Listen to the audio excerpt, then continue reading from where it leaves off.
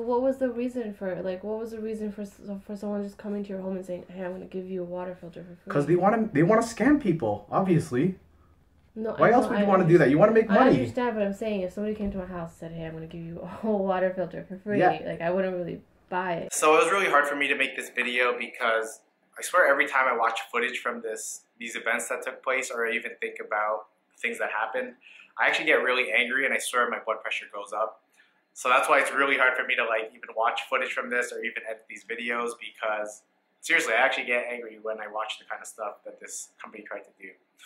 So basically this this video is about scams that are going around the neighborhood. Specifically for my scenario, there was this company called Ontario Home Services that was trying to scam my parents. So sometime in October, a salesman by the name of Shafaat Shah showed up to my parents' house, and he had this pitch that uh, the Ontario government was giving away free water filters and air filters, and basically they were providing this free service, and that's how they kind of tricked these older people, senior citizens. Basically, you just didn't do any research on your own into like signing these agreements. But the good thing is I kind of overheard their conversation.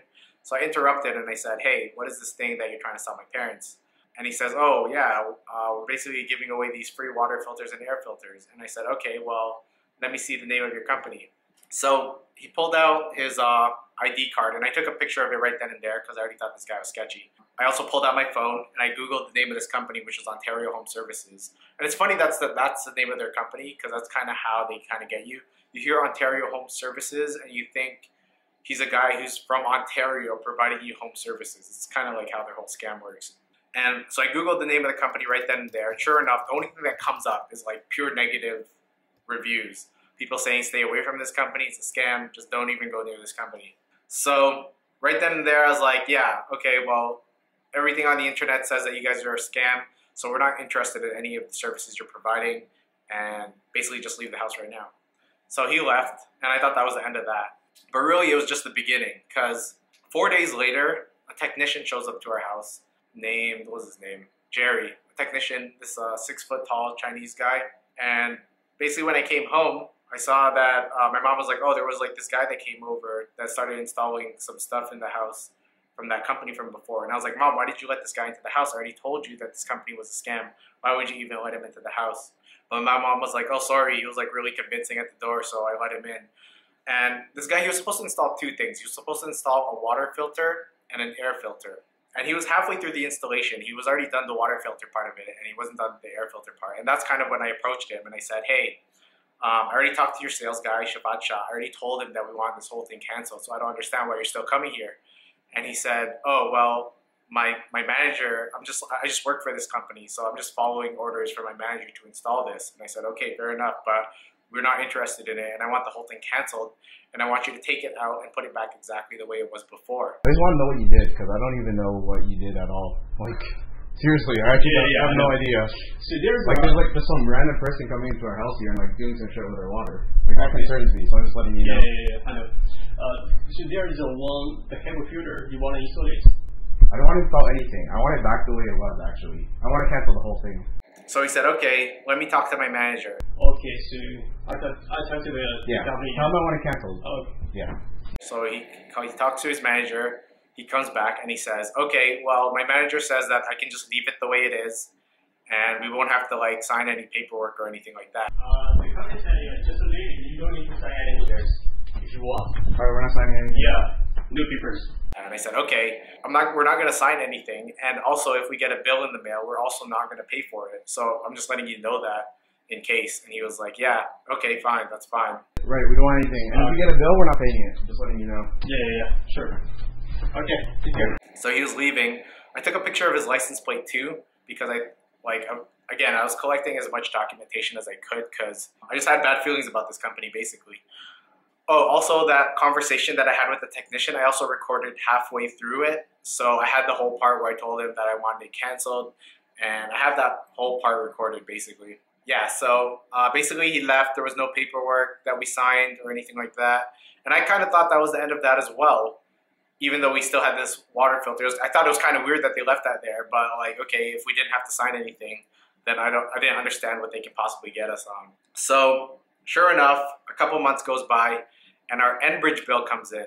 Now, if you don't know what Enbridge is, Enbridge is the company that supplies natural gas to Ontario. So our natural gas bill comes in from Enbridge, and tacked onto that bill was a charge for $59.99 for a water filter. Uh, speaking of which, I forgot, I didn't even mention how much this whole thing was going to cost. So when I saw the contract, it was actually insane how much they were trying to charge for these things. They're charging $59.99 for 10 years. $59.99 per month for 10 years. And if you do the math on that, that's actually $8,000. And they had that times two because they had that for the water filter and the air filter. So they had $59.99 for 10 per month for 10 years times two. So that was like um, eight plus eight. So that was $16,000 that they were trying to charge for this damn water filter and air filter. It's so fucking ridiculous.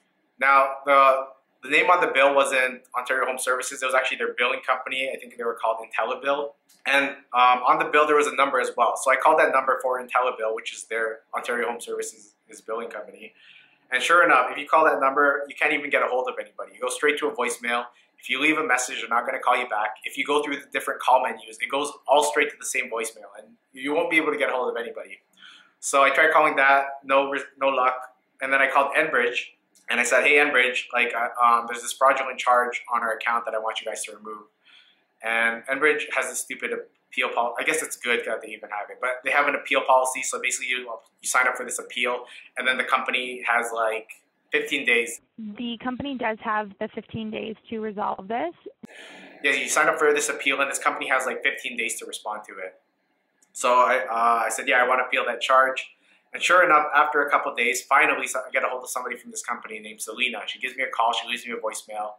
She says, call me back. It's urgent. So I called her and I said, um, she said she basically wants to have a meeting. And I was wondering if I could come in this Wednesday to sit down and go over this. I just really wanted to figure this out and see what happened. So we can discuss what, what happened. And I said, okay, well, why can't I just tell you over the phone? I don't understand why we have to have a meeting over this um, in person, anyways. Uh, I could tell you over the phone what happened. Like it's not really that hard to. It's not like I can't do it over the phone here. So uh, basically, yeah, one of your well, sales. I just, I'd, ra- I'd rather come in though. I'd rather come in on Wednesday if that's okay. Okay, could I explain it to you what happened though, just so you have like Yeah. an idea? So I basically told her what happened, and she said she still wanted to meet in person. She also said that she was going to give me all of the. She also said she was going to bring all the documentation to the meeting. And do you guys even have a copy of the contract? Because I'd love to see that. Yeah, yeah. I'm gonna bring in whatever I have. That was another thing that she said she was going to do. Uh, so then we, we arranged this meeting on a Wednesday at some time. I think it was at like 1.30. And they showed up to the meeting an hour early. And I was like, what the hell are you guys doing, first of all? Because you guys are like way too early for this meeting. You guys said 1.30 and you guys are showing up at 12.30. And I, I was like, I'm not even done eating yet. So Uh, did you guys say 1.30? Because we're still eating here. Oh yeah, yeah. We're just a No bit problem. early. You want us to come back? Yeah. We can go grab something to buy too. Yeah. All right. Come back. So they left, and the whole reason why I wanted them to come back is because I wanted to set up hidden cameras in the house to basically record this whole interaction that took place. So they left, they came back an hour later, and at this time I had all my hidden cameras set up, recording and everything. So yeah, she shows up to the house, and uh, it was her and another guy, so there's two of them. So one of them was Selina Balli was her name. Her name was, yeah, one of them, Selina Balli. Um, I don't remember exactly what her what her title is. I think she's like the, the assistant of the managers or whatnot. And then another guy who was the senior vice president of the company, at least that was the title on his business card, and his name was Ali Mohammad. So the, they, these two guys showed up to the house, and um, so I, I told them to come in. I offered them water, but that's pretty much where my hospitality ends because at this point, I just, I just hate this company, right? So, and the stupid part is when they came to the house, it really angered me because they were trying to act like they were acting in my best interest. They're trying to say things like, "Oh, we're trying to help you out," and this and that. Right. You have to understand. I'm not working against you here. Okay. I'm I'm working with you to try and understand what's happening here. All right. Well, Right, and right now you're accusing me. that. You're I haven't accusing accused me. you at all. Listen, I've you're- been just been writing down You're saying you said you're so saying far. that I didn't cancel when clearly the audio says No, we're I not wanted saying to you cancel. didn't cancel. We're just saying that the fact that the eight, the the technician came in the house and ins- Or really, they, were, they weren't there to help. The whole reason why they wanted to come to the house was they wanted to collect evidence to support their own case. So the first thing they did when they came to the house, they went downstairs, they took a picture of the water filter, basically as proof that they installed it, is what they wanted to do. And then, sure enough, when they showed up to the house as well, they didn't bring any of the paperwork that they said they were going to bring. And they said, "Oh, did we say we were going to bring the paperwork?" I didn't- Did you know? Did, did you ask fake to bring it? Yeah, like asked me? I s- yeah, I said bring. Needs it to email it to us, so or do you just want to email it directly? Yeah, I- send, I wanna- send it to wanna right now. I want I want to see it before you guys leave. You know? No, I'll send it to you. Send like, it. there's not like here. One Send it. And yeah, she kind of did say that she was going to bring the paperwork, Yeah, yeah, I'm gonna bring in whatever I have. but she didn't. Um, but anyways, I still wanted to have this meeting with them, and I basically told them what happened again, and they were trying to basically act dumb. They're like, they're saying, "Oh, well, why would the technician leave the water filter there when you told him that you wanted to cancel? Like, why would he even want to do that?"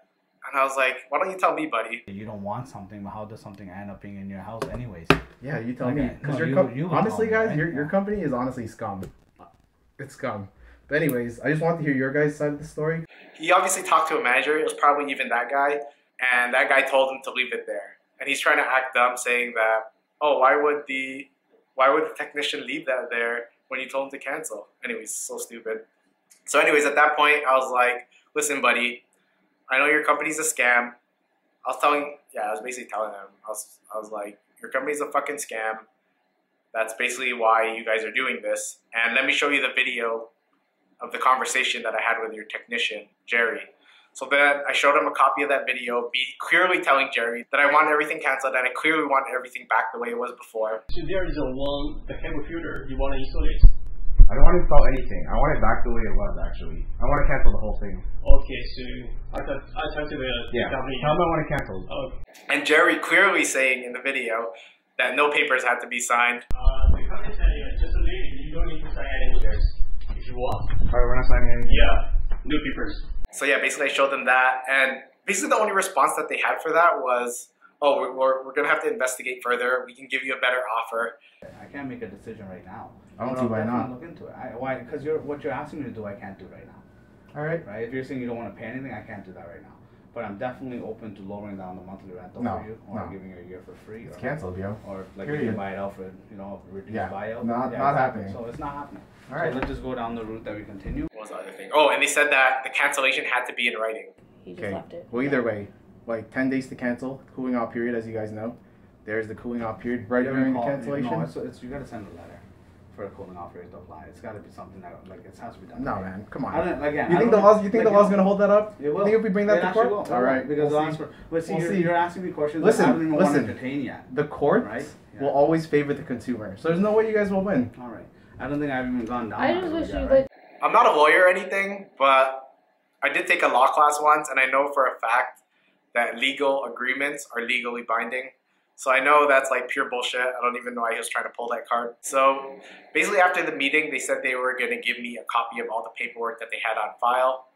Because I want to send you the full file that we have uh, with the call too. with the right? call and everything. And sure enough, after the meeting, the next day, I checked the emails and they still haven't sent anything with the paperwork. So I called Selina and I said, Hey, Selina, where's this uh, paperwork that you guys said you were going to send over? And she said, Okay, give me 20 minutes. So 20 minutes goes by. Sure enough, no email. Call her back. At this point, she's ignoring my calls. I call back uh, 20 minutes later. I called an hour later after that. I called two hours later. Uh, basically, she's going to voicemail. She's, she's ignoring my calls uh, completely. So um, Ali also gave me his business card, so I started calling Ali to get this paperwork. He's also ignoring my calls. He has, but the thing was, on his business card, he actually had three different numbers on there. So I called his uh, cell phone line, I called his business line, and then he also had a third number, which kind of went to the head office of this company. So I called that company, and finally I got a hold of this guy named Usman, who is the compliance manager. Um, at least that's his title on the email that he sent me. So um, I didn't I didn't tell Ali, uh, not Ali, I didn't tell Usman anything that happened. I just basically said, hey, I want this uh, paperwork that you guys have on file for for this house. So sure enough, the compliance manager complied and he gave me a copy of the documentation.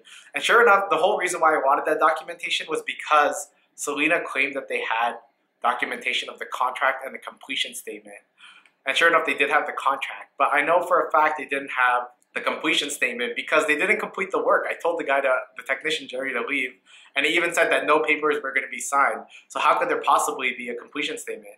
So sure enough, Usman sent it to me, and the completion statement had a forged signature on it. It said R. Castro in plain printing, and you could tell too that the writing was the same writing as um, the technician's writing. Like basically the the font, the writing that the technician used to fill out the information was the same as the signature, and it was in plain printing too. They didn't even try to make it look like a signature. It said R. Castro. The weird part is my middle, my dad's middle name actually is Castro, and I don't even know how they got that information, but somehow they did. Maybe they were like looking on Google or something. So yeah, he filled out R. Castro as the signature, completely forged signature. Pretty much at that point, I was like, good, okay, I have proof now that this company's a fraud, and that they're that they're willing to actually go out of their way to forge signatures. Um, so Selina finally gives me her copy of the documentation. I don't even know, like a day later, and Sure enough, her copy of the documentation had the uh, completion statement omitted from it. Like she, they took it out completely. They took it out completely, and the funny thing is, I know that they she purposely removed it because when Usman sent me a copy of the documentation, it had the uh, completion statement and the contract together in, inside of one PDF file. And I know that if you want to like split a PDF file, you have to actually use software like Adobe Acrobat Pro or even like preview in the Mac to like delete that page. So you know that they actually went out of their way to delete that page to send me a copy of that. I guess her and Usman didn't even communicate that they had they sent me that documentation, so that's why she sent me a copy of her version as well. And she removed that part of the um, of the document basically because she knew it was like forged. At least that's what I think. Like, why else would you purposely remove this page of the document unless you know it's a forgery. So sure enough, Ali replies and he's like, oh, we never said that we were going to send a copy of the completion statement. We just said that we were going to send a copy of the contract and the third party verification call. And I said, okay, so tell me why in this video did you say that you were going to send a copy of the full file? And at that point, I sent them a copy, of a short clip of the of the video where Ali said he was going to send me the full file, but basically with the secret hidden camera that they had no idea was even recording. Because I want to send you the full file that we have. Uh, with the call too. With the right? call and everything. I guess they were shocked when they saw that video. At that point, they basically shut up. They like stopped talking, cut off all communication completely. I didn't hear from them for like the next couple weeks, at least like three three weeks. I didn't hear from them at all. I told them, also told them that I was filing a complaint with the Ministry of Government and Consumer Services. They're basically like a government company that's supposed to prevent these kinds of consumer scams from happening. I don't really know if it works that well, but this company does exist. So I filed a report with them. Maybe that company finally um, contacted this business. So that's when the business finally contacted me weeks later. Selina contacted me. She again she left the voicemail. No, she didn't leave a voicemail. She called me and I answered the phone. Um, and what she had to say was, oh, she says, okay, so what's, what's going to happen now is we're going to gift you the unit, as in they're going to give it to us for free. In return, that we sign a release. That's the words that she used. So if you check your inbox, I've attached a release, right? So anyway, we went over the whole situation and we discussed it. And we both believe that it's better if we just gift you the unit. So we would like to end the contract. And I said, okay, well, um, I basically told her everything that I was thinking. The other thing is when that technician was here and I told him to cancel it, he said he called your manager. Mhm. So who was your manager that he contacted? Was that Ali? No, no, we did. See, So that's who was the manager? thing. Who was the you're not manager? We don't know. We don't know who, why. See, that's, why uh, he you're said full of that, shit. You, know, You do know. know. You're full no, of shit, we Selina. know what you think. Okay, so you think he called us and and said that, hey, I'm gonna leave this water filter. We would actually, we would have preferred if he took the water filter back. Yeah, That like I don't believe you guys at all. He called you guys. I know he called. He called you. He talked to one of you guys, and then you guys said, "Okay, don't worry about it. We'll just like he's, No, he's probably no, not gonna have not- any documentation anyways. Let's we have a contract here. We'll just like try to get as much money from him as we can.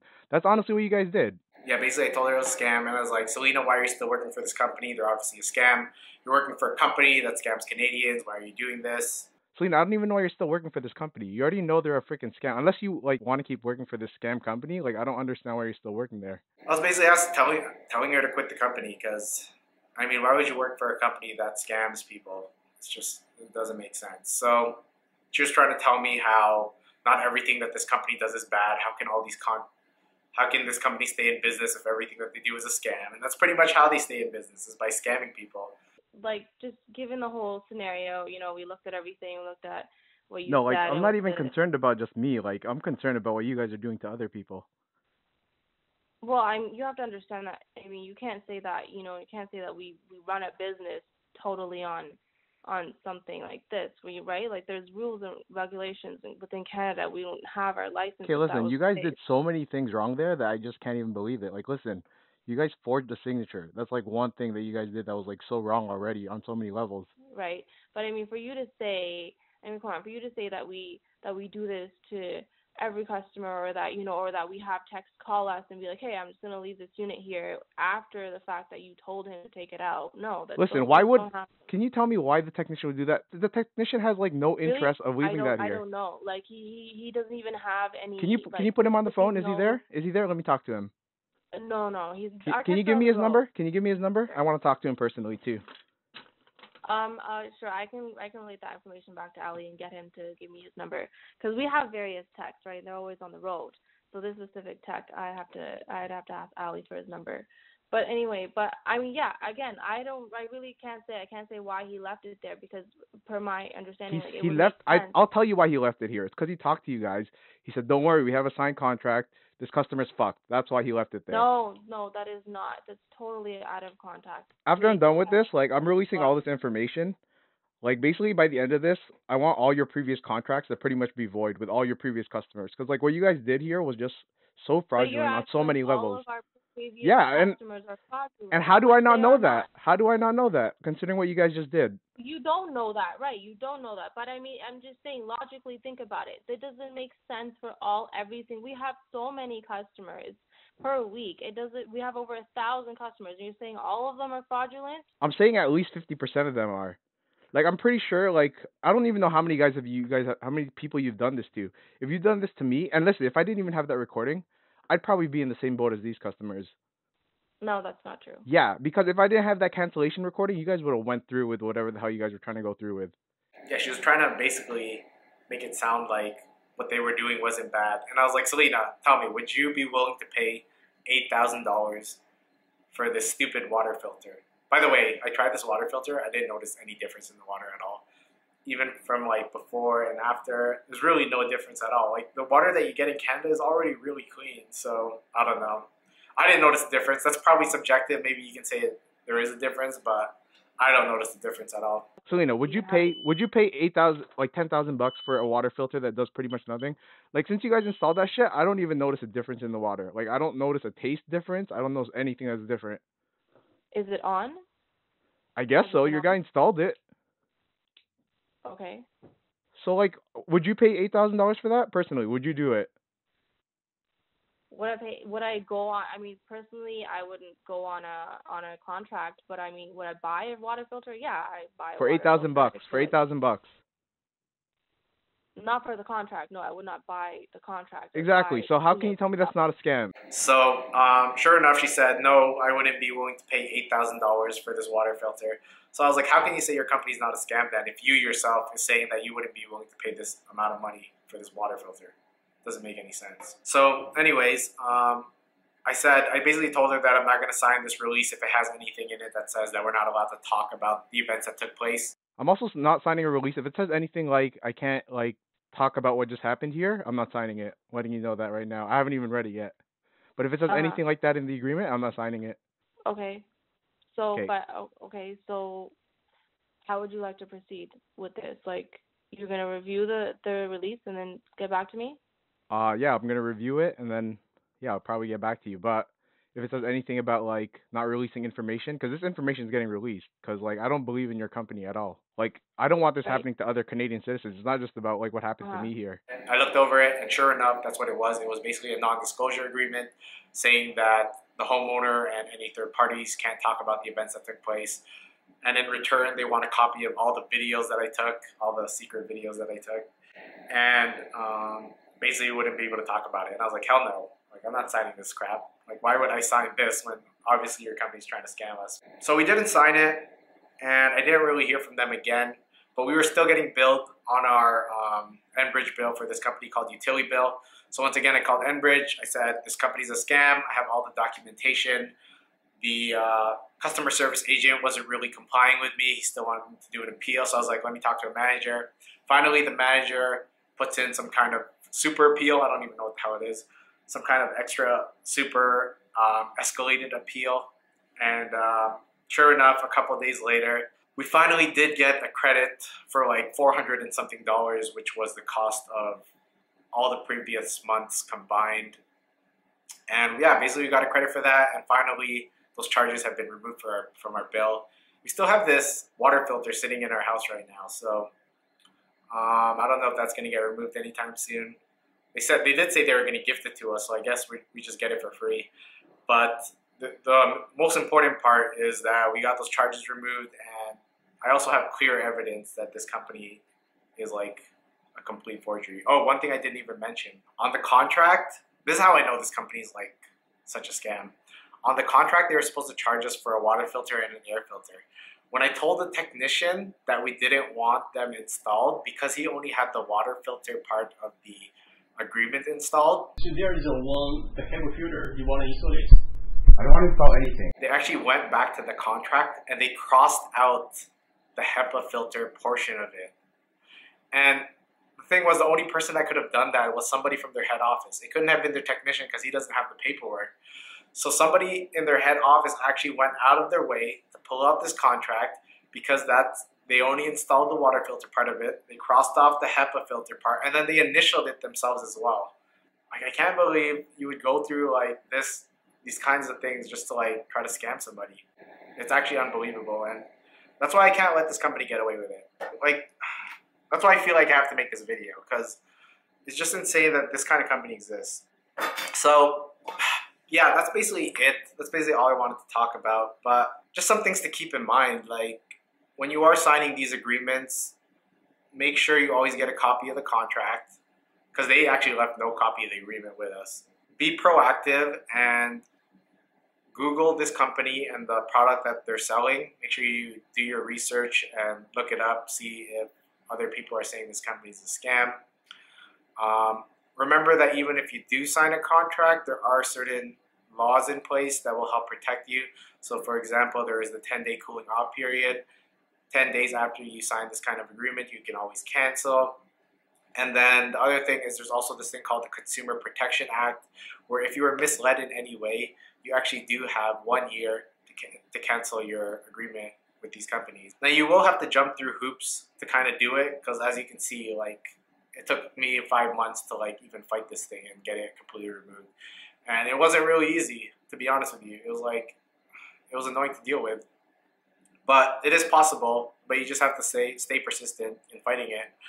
And if all else fails, you could always go to a small claims court as like a last case scenario.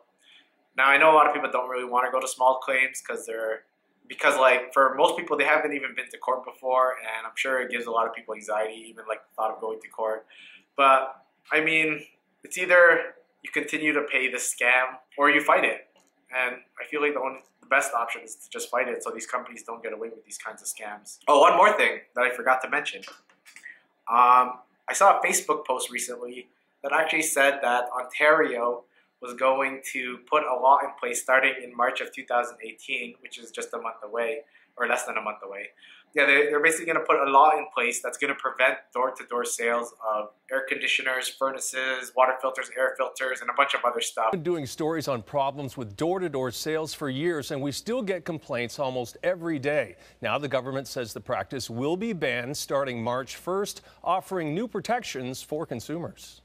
Consumer Alert has met with many homeowners who say they were deceived into signing long term expensive contracts by door to door sales staff. Many said they were lied to. She told me, sir, it's all government funded. He said, oh, no, no, no, no, no, it's free. We interviewed a former salesperson who says he was told to say anything to get someone to sign a contract. You lie to them from the, you know, as soon as you open your mouth. Now, on March 1st, a ban on door to door sales will come into effect. These are the items that will no longer be allowed to be sold door to door. It will be illegal for sales staff to get you to sign a contract to buy or rent them. If you are lied to at the door, Consumer Minister Tracy McCharles says you could be able to keep the items for free. If a violation is found to take place, the consumer will most likely get to keep whatever uh, purchase they made, and there'd be fines against the supplier. And I think that's awesome. I'm glad that the Ontario government has stepped up and they're finally going to start banning these kinds of sales. The law hasn't been passed yet, at least not from what I heard. But hopefully it does get passed, and so that way we won't even have to deal with these kinds of scams anymore. Anyways, I think that's it.